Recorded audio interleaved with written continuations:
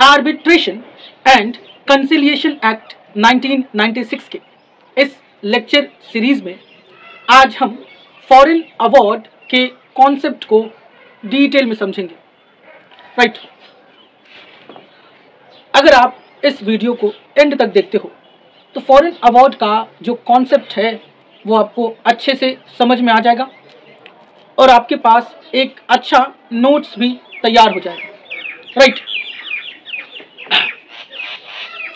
अपने, अब तक के वीडियोस में हमने आर्बिट्रेशन काउंसिल ऑफ़ इंडिया के कॉन्सेप्ट को जान लिया है। तो आज इस वीडियो में हम part two of arbitration and conciliation act 1996 को स्टार्ट करेंगे part two basically enforcement of enforcement of certain foreign awards के बारे में बात करता है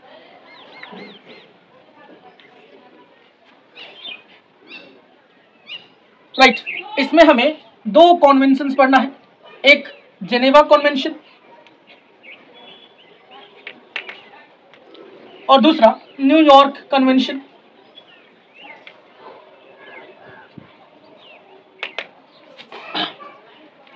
part two में बेसिकली हम ये समझेंगे कि फॉरेन अवार्ड क्या होता है और किस तरह से फॉरेन अवार्ड को एनफोर्स में लाया जाएगा। इस पर्टिकुलर एक्ट के तहत।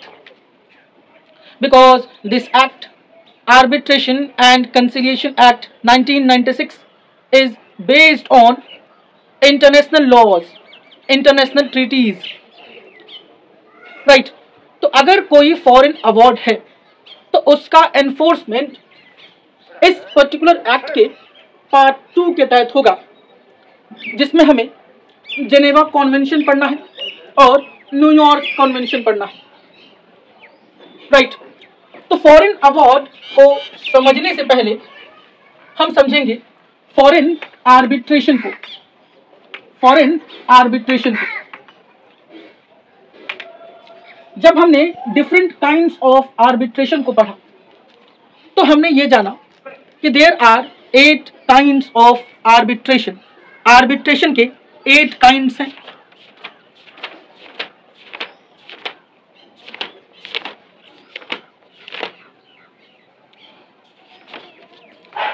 Ad hoc arbitration contractual arbitration institutional arbitration statutory arbitration domestic arbitration international arbitration international commercial arbitration और फॉरेन आर्बिट्रेशन तो फॉरेन अवार्ड को समझने से पहले हम फॉरेन आर्बिट्रेशन को एक बार फिर से रिकॉल करते हैं।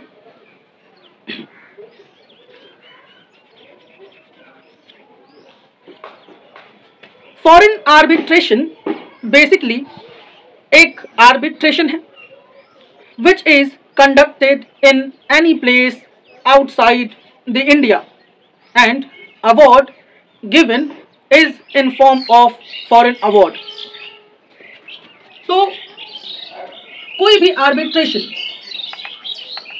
जो स्टार्ट होता है any arbitration which takes place outside the territory of India, outside the Indian territory, वो फॉरेन अवार्ड है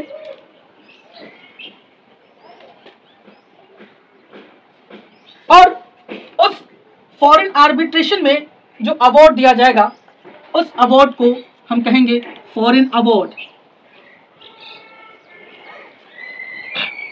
तो basically there is difference of place where arbitration to place अगर आर्बिट्रेशन प्रोसीडिंग्स इंडियन टेरिटरी के बाहर कहीं conduct होती हैं तो उस आर्बिट्रेशन प्रोसीडिंग को हम कहेंगे फॉरेन आर्बिट्रेशन और जो अवार्ड मिलेगा, उसे कहेंगे फॉरेन अवार्ड राइट तो foreign award is basically the outcome of foreign arbitration right when two parties जब दो पार्टीज़ अपने डिस्प्यूट को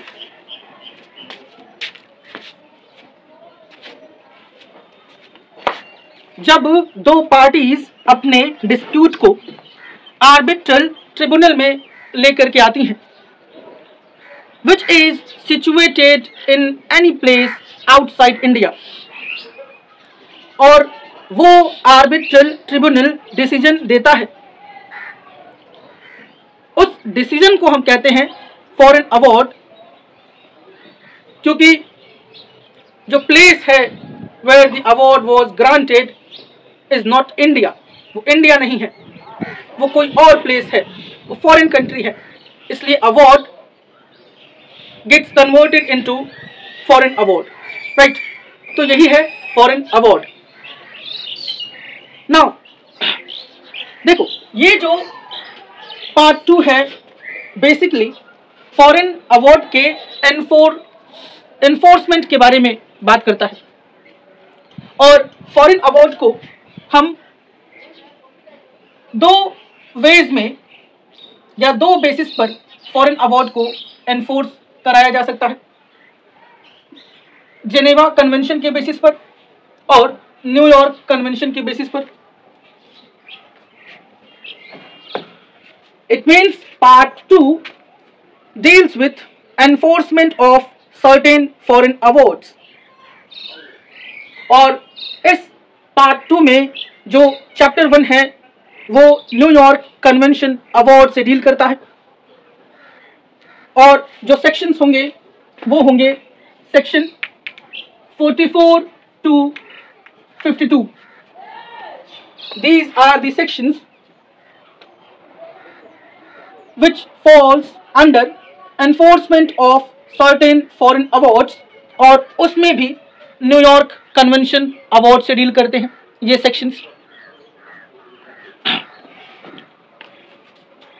नाउ ये तो था कि फॉरेन अवार्ड जनरल मीनिंग क्या है फॉरेन अवार्ड का? नाउ हमारा जो आर्बिट्रेशन एंड कंसिलिएशन एक्ट 1996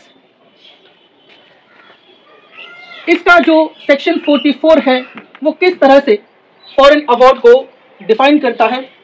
चलिए समझते हैं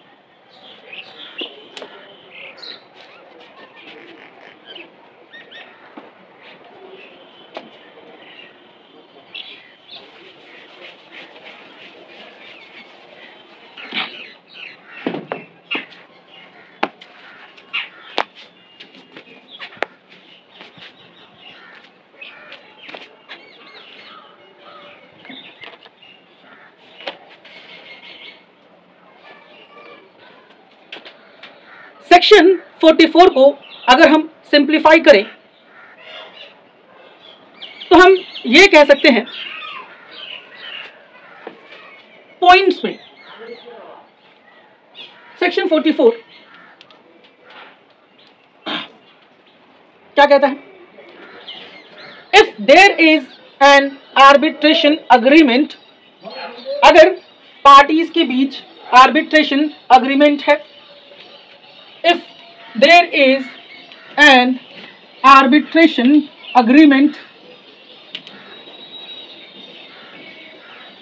between parties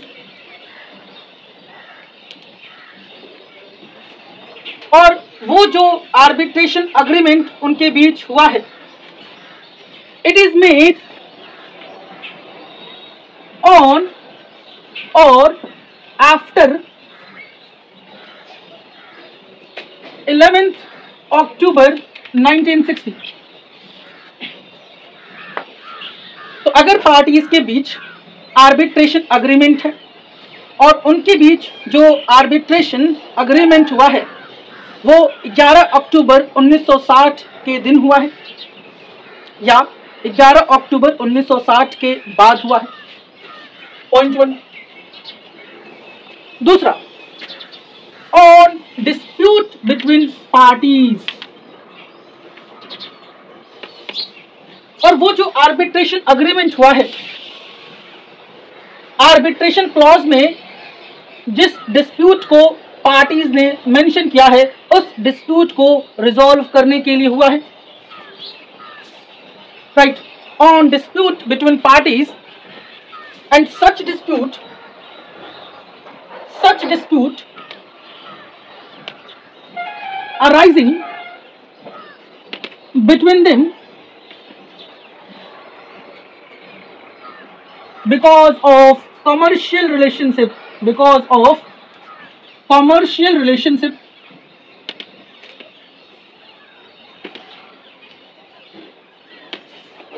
Whether contractual or not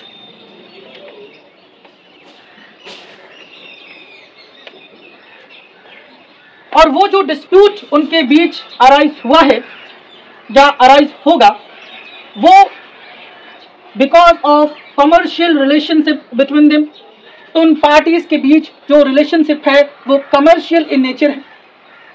आगे ये क्लियर करता है it may be in contractual और not right fourth point award is made on the basis of above condition in तीन कंडीशंस के बेसिस पर अगर अवार्ड दिया जाता है आर्बिट्रल ट्रिब्यूनल के द्वारा award is made on the basis of above condition. Award is made on the basis of above condition. In a country उस कंट्री में, इन अ कंट्री उस कंट्री में कहता है विच इज़ विच इज़ जो कि क्या है? Signatory which is signatory to New York convention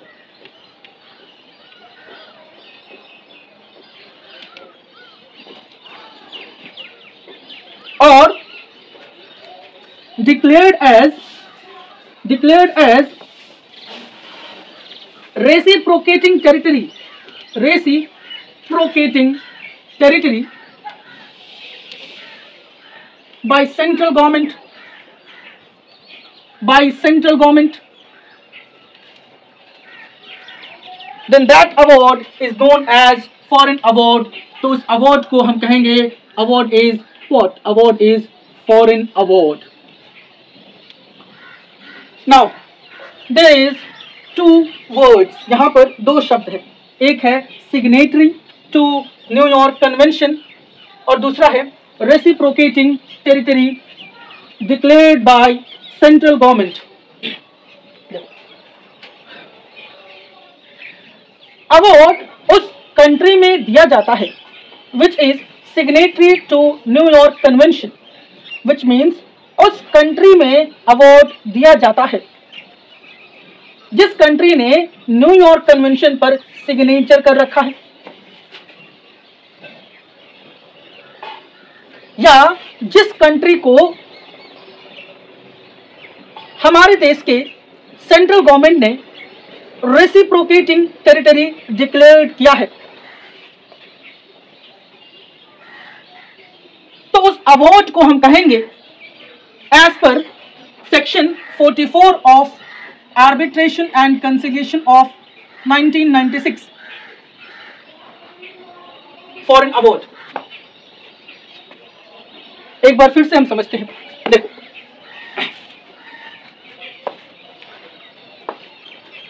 reciprocating territory का मतलब क्या है?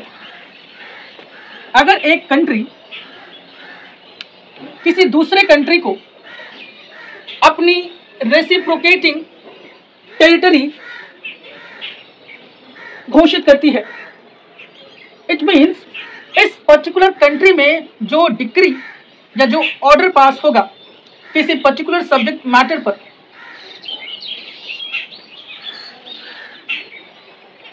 तो वो पर्टिकुलर डिक्री वो पर्टिकुलर डिसीज़न उस देश में रहने वाले सभी लोगों के ऊपर बराबर लागू होगा। और अगर इंडिया ने किसी देश को अपना रेसिप्रोकेटिंग टेरिटरी घोषित किया है तो इंडिया के नागरिक अगर इस देश में रहते हैं,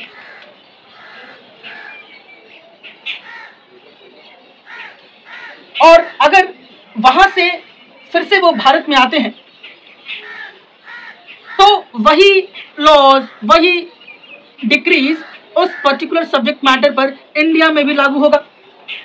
बिकॉज़ जिस टेरिटरी में वो रह रहे हैं that territory is declared by central government as reciprocating territory right तो ये है। और दूसरा क्या है? Signatory to New York convention जिस कंट्री ने न्यूयॉर्क कन्वेंशन पर सिग्नेचर कर रखा है, उस कंट्री में अवार्ड दिया जाता है। तो वो फॉरेन अवार्ड होगा। इस एक्ट के सेक्शन 44 के तहत। या जिस कंट्री में अवार्ड दिया गया है, उस कंट्री को इंडियन गवर्नमेंट ने अपना रेसिप्रोकेटिंग टेरिटरी घोषित किया है। तो उस कंट्री में भी अगर अवार्ड दिया जाता है तो वो अवार्ड कहलाएगा foreign award under section 44 of this particular act तो फॉरेन अवार्ड के क्या क्या इसेंशियल एलिमेंट्स हैं? पहला आर्बिट्रेशन अग्रीमेंट होना चाहिए पार्टीज़ के बीच। और वो आर्बिट्रेशन अग्रीमेंट 11 अक्टूबर 1960 के दिन का होना चाहिए या उसके बाद का? उसके पहले का नहीं। और वो आर्बिट्रेशन अग्रीमेंट पार्टीज़ के बीच जो डिस्प्यूट है, उसे लेकर के होना चाहिए।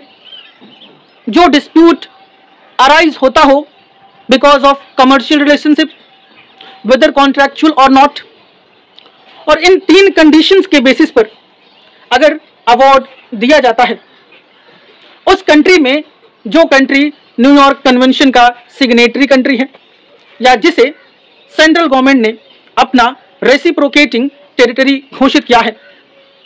उस अवार्ड को हम कहेंगे foreign award and I hope कि जो फॉरेन अवार्ड का कॉन्सेप्ट है एज पर सेक्शन 44 वो आपको अच्छे से समझ में आ गया होगा। Right right. तो यानी अगर क्या हम ये कह सकते हैं कि अगर रेसिप्रोकेटिंग टेरिटरी में कोई इंडियन सिटीजन रहता था और उसके अगेंस्ट कोई ऑर्डर या कोई डिक्री पास की गई थी तो वही सेम ऑर्डर सेम डिक्री उसके ऊपर एप्लीकेबल होगी, भले ही वो इंडिया में आकर रहने लगे। अब अगर हम एग्जांपल्स देखें तो UAE UK Bangladesh Hong Kong Aden ये ऐसे देश हैं जिन्हें इंडियन गवर्नमेंट ने अपना रेसिप्रोकेटिंग टेरिटरी घोषित किया हुआ है। राइट तो this is all about today's lecture आज के इस वीडियो में हमने फॉरेन अवार्ड के कॉन्सेप्ट को डिटेल में प्रॉपर एक्सप्लेनेशन और नोट्स के साथ समझा। अगर ये एफर्ट्स आपको अच्छे लगते हैं मेरे वीडियोस किसी भी मैनर में आपको हेल्प करते हैं प्लीज़ चैनल सब्सक्राइब करिए वीडियोस को लाइक करिए और इन वीडियोस को ज़्यादा से ज़्यादा शेयर करिए। Because I believe together we learn together we grow thank you have nice day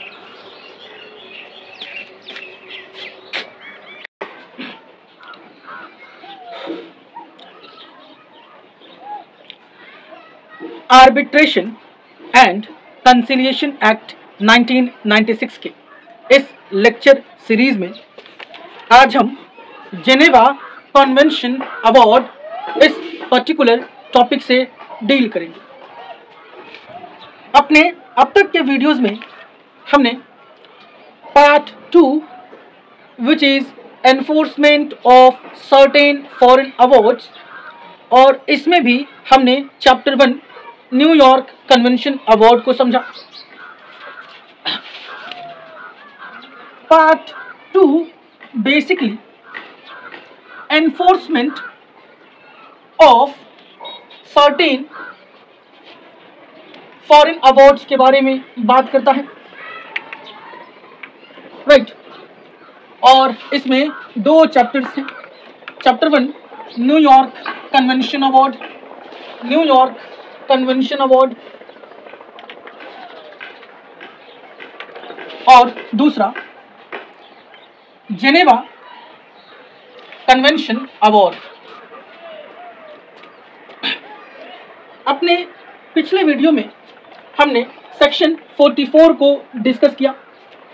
हमने समझा कि न्यूयॉर्क कन्वेंशन के तहत फॉरेन अवार्ड क्या है।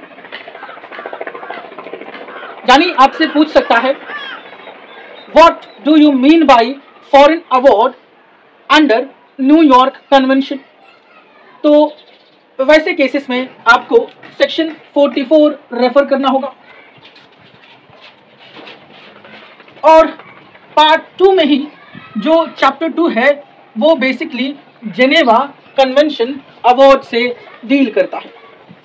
Which means if there is foreign award तो उस फॉरेन अवार्ड का एनफोर्समेंट उस फॉरेन अवार्ड का एप्लीकेशन पार्ट टू के तहत कराया जाएगा। और इन दोनों कन्वेंशन के तहत कराया जाएगा। न्यूयॉर्क कन्वेंशन और जेनेवा कन्वेंशन इन दोनों ही कन्वेंशन में जो फॉरेन अवार्ड का डेफिनेशन है, वो लगभग सेम है। There is only minor differences और फॉरेन अवार्ड एप्लीकेशन कैसे होगा? फॉरेन अवार्ड को किस तरह से एनफोर्स कराया जाएगा? क्या क्या कंडीशंस होंगे? वो सभी कंडीशंस भी लगभग लगभग सेम ही है। Right right. तो न्यूयॉर्क कन्वेंशन के बेसिस पर फॉरेन अवार्ड क्या है? अंडर सेक्शन 44 हमने डिस्कस कर लिया है। आज के इस वीडियो में हम जिनेवा कन्वेंशन के बेसिस पर फॉरेन अवार्ड को डिस्कस करेंगे राइट right. तो इसके जो सेक्शंस हैं, वो हैं सेक्शन 53 से लेकर के सेक्शन 60 और न्यूयॉर्क कन्वेंशन के जो सेक्शंस हैं, वो हैं सेक्शन 44 टू 52 राइट चलिए। तो section 53 which is interpretation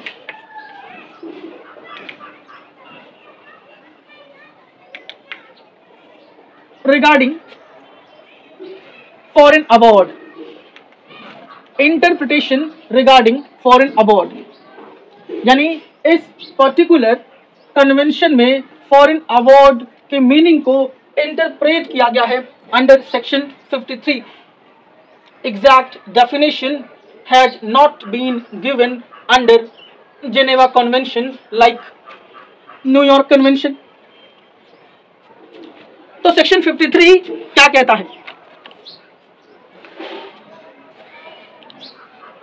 If there is an arbitration agreement made after 28th July 1924 first point अगर पार्टीज़ के बीच आर्बिट्रेशन अग्रीमेंट है।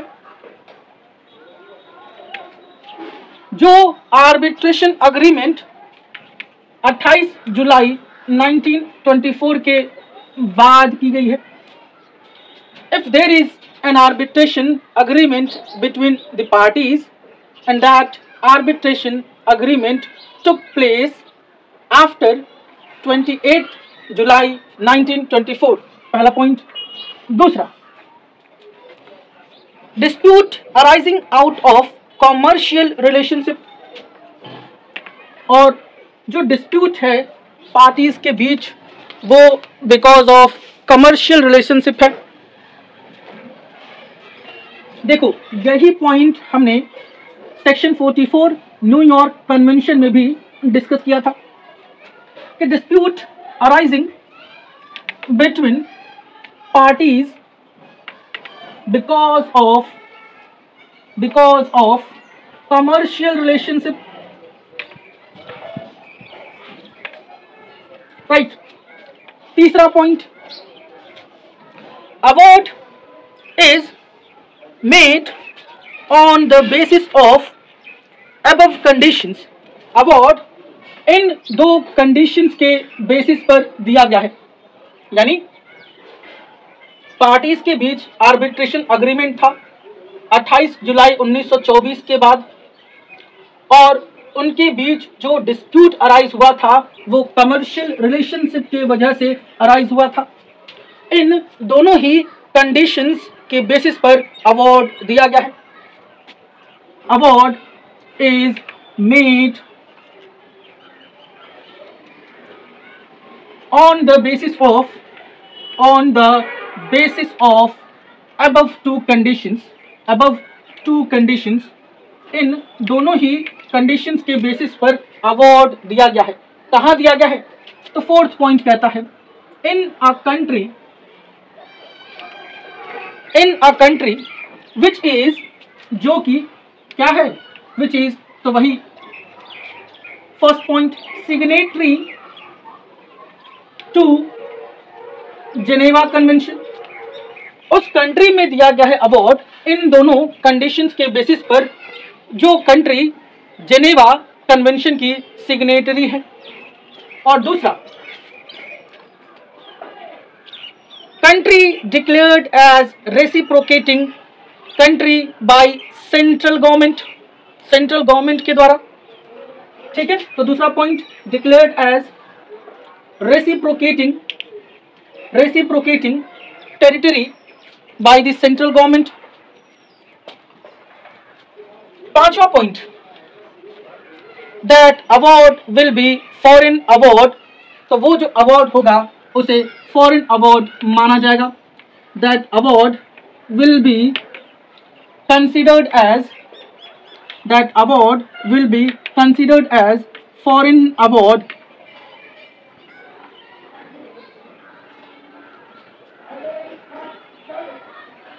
और उस अवार्ड को इंडियन कोर्ट्स में एनफोर्स कराया जा सकता है। It will be enforced first point and that award will be it will be enforced by Indian courts और दूसरा वंस इंडियन कोर्ट्स डिसाइड या once Indian courts enforce those awards उन foreign awards का enforcement होने के बाद, उन foreign awards को कोर्ट के डिक्री के रूप में जाना जाएगा। It will be deemed as it will be deemed as decree of court तो ये है जेनेवा कन्वेंशन अवार्ड या आप कह सकते हो foreign awards in the words of Geneva convention right और आप सेक्शन 53 को रेफर करोगे. और न्यूयॉर्क कन्वेंशन अवार्ड के तहत फॉरेन अवार्ड अगर पूछता है तो आप सेक्शन 44 को रेफर करोगे. अगर मेरे दोनों वीडियोस आप देखते हो तो जो माइनर डिफरेंसेस है दोनों अवार्ड्स के बीच, वो आपको समझ में आ जाएगा। जैसे फॉरेन अवार्ड अंडर सेक्शन 44 तो पहला कंडीशन था if there is arbitration agreement made on और आफ्टर 20 11 अक्टूबर 1960 ठीक है? अगर आर्बिट्रेशन अग्रीमेंट है पार्टीज़ के बीच और वो आर्बिट्रेशन अग्रीमेंट 11 अक्टूबर 1960 के दिन हुआ है, या उसके बाद हुआ है। तो ये एक डिफरेंस था। और बाकी सब सेम था। Dispute arising between the parties out of commercial relationship award is made on the basis of above condition अब यहाँ पे चेंज रहेगा। In the country which is signatory to अगर हम सेक्शन 44 को रेफर कर रहे हैं तो which is signatory to New York convention या which is declared as reciprocating territory by central government then that award is known as foreign award right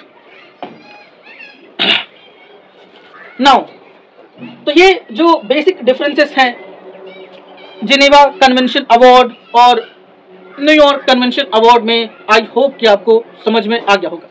चलिए अब हम बात करेंगे enforcement of foreign award enforcement किस तरह से एनफोर्समेंट इनका होगा?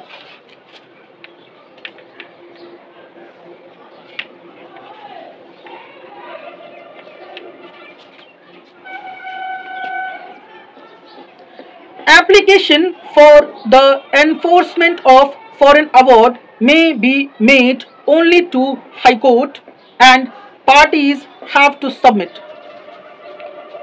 तो अगर हमें फॉरेन अवार्ड्स को एनफोर्स कराना है तो केवल और केवल हाई कोर्ट के थ्रू ही हम करा सकते हैं। यानी पार्टीज़ को फॉरेन अवार्ड के एनफोर्समेंट के लिए एप्लीकेशन देना होगा only in high courts right दूसरा ओरिजिनल अवार्ड और its authenticated copy shall be submitted by the parties और एविडेंस के तौर पे पार्टीज़ को हाई कोर्ट में उस एप्लीकेशन के साथ साथ ओरिजिनल अवार्ड अगर है तो वो या वो नहीं है तो कोई ऑथेंटिकेटेड कॉपी सेकेंडरी एविडेंस के तौर पे। दूसरा evidence proving that award has become final तो मैं लिख नहीं रहा हूँ, मैं एक्सप्लेन कर रहा हूँ। तो आप सुन सुन के वीडियो पॉज करते करते लिख सकते हो, ठीक तो पहला क्या है? Application must be submitted by the parties before high court और दूसरा ओरिजिनल अवार्ड और authenticated copy of award shall be submitted by the parties तीसरा उन्हें ये भी एविडेंसेस पेश करना है और ये प्रूफ करना है कि जो अवार्ड मिला है, वो अपने आप में फाइनल अवार्ड है। यानी कोई अपील कहीं से उस पर्टिकुलर अवार्ड को लेकर के नहीं दायर किया गया है। There is no appeal lies in relation to that award right और तीसरा evidence that award made in pursuance to submission to arbitration और ये एविडेंस पेश करना है कि जो फॉरेन अवार्ड है, वो आर्बिट्रेशन में जो टर्म्स एंड कंडीशंस थे, यानी जो डिस्प्यूट था, जो सब्जेक्ट मैटर था जिसपे पार्टीज़ अग्री हुई थी कि इसी डिस्प्यूट पर उन्हें फॉरेन अवार्ड लेना है, वो जो फॉरेन अवार्ड मिला है, वो उसी डिस्प्यूट पर दिया गया है। और लास्ट कहता है arbitral award made by arbitral tribunal in conformity related to law of home country यानी जिस भी कंट्री में आर्बिट्रल अवार्ड दिया गया था the place of country where arbitral award was given वो कंट्री होम कंट्री कहलाएगी। और पार्टीज़ को ये भी एविडेंसेस देना पड़ेगा कि उस होम कंट्री में जो भी लॉज थे आर्बिट्रेशन के, उन लॉज के कंफर्मेशन में, उन लॉज को मानते हुए आर्बिट्रल ट्रिब्यूनल ने अवार्ड दिया है। तो अगर हम, यानी अगर पार्टीज़ फॉरेन अवार्ड के एनफोर्समेंट के लिए कोर्ट में एप्लीकेशन देती है तो वो कोर्ट, हाई कोर्ट होगा।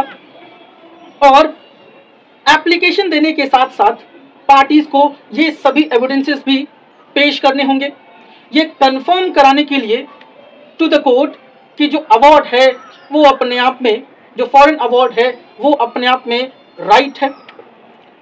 जो फॉरेन अवार्ड है, वो अपने आप में करेक्ट है।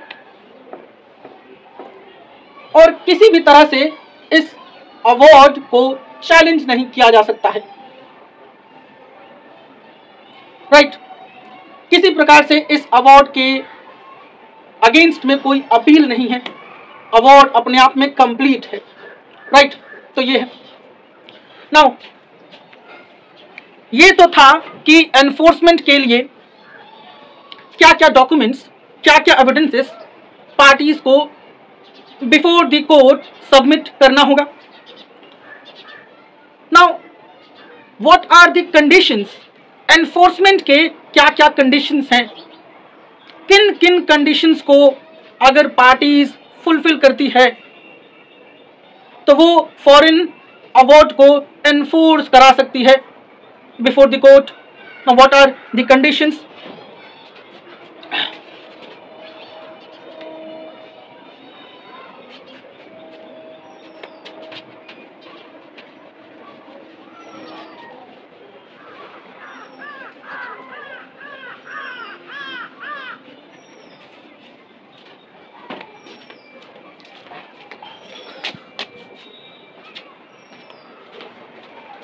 Now, what are the conditions for enforcement?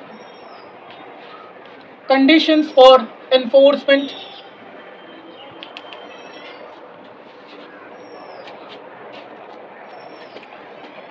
Pehla, award made in relation to or within scope of submission to arbitration. जो अवार्ड दिया गया है वो within the scope of arbitration है। यानी वो जो अवार्ड है, वो बेसिकली आर्बिट्रेशन के टर्म्स एंड कंडीशंस के अकॉर्डिंग है, जो पार्टीज़ के बीच तय हुआ है। दूसरा made by arbitral tribunal in conformity with law of home country home country के लॉ को ध्यान में रखते हुए अवार्ड दिया गया है आर्बिट्रल ट्रिब्यूनल के द्वारा। और जो सब्जेक्ट मैटर है is capable of settlement by arbitration यानी पार्टीज़ ने ये डिसाइड किया था पहले ही कि dispute will be resolve through arbitration तो if these conditions get satisfied, parties may opt for enforcement of foreign awards in High Court. Right? Pehla, award made in relation to or within scope of submission to arbitration. Dusa, made by arbitral tribunal in conformity with law of home country. Or subject matter of dispute is capable of arbitration ठीक है? Okay fourth point award has become final award अपने आप में final है। और जो award दिया गया है, वो पब्लिक पॉलिसी के अगेंस्ट नहीं है। Right right. तो कहीं से कोई गाना बज रहा है तो अभी फ़िलहाल के लिए हमें अपने टॉपिक को यहीं पर रोकना होगा। अब अपने नेक्स्ट वीडियो में हम objection to enforcement by other party इस पर्टिकुलर टॉपिक से डील करेंगे। यानी हम समझेंगे कि कौन कौन से ग्राउंड्स हैं जिन ग्राउंड्स के बेसिस पर जो ऑपोजिट पार्टी है, जो चाहता नहीं है कि इस फॉरेन अवार्ड को एनफोर्स कराया जाए। बिफोर द हाई कोर्ट तो उसे किन किन ग्राउंड्स के बेसिस पर ऑब्जेक्शन रेज करना है? या किन किन ग्राउंड्स के बेसिस पर अपोजिट पार्टी में raise objection regarding enforcement of foreign award ठीक है? तो this is all about today's lecture इस वीडियो में हमने जेनेवा कन्वेंशन के तहत फॉरेन अवार्ड क्या है और फॉरेन अवार्ड का एनफोर्समेंट किस तरह से होगा, किस बेसिस पर होगा और क्या क्या कंडीशंस हैं फॉर द एनफोर्समेंट इस पर्टिकुलर टॉपिक को मैंने अपने पूरे एफर्ट्स के साथ आपको समझाने की कोशिश करी। अगर ये एफर्ट्स आपको, अब तो गाना ही बंद हो गया। अगर ये एफर्ट्स आपको अच्छे लगते हैं तो प्लीज़ आप चैनल सब्सक्राइब करिए वीडियोस को लाइक करिए और इसे ज़्यादा से ज़्यादा शेयर करिए। Because I believe together we learn, together we grow. Thank you. Have a nice day.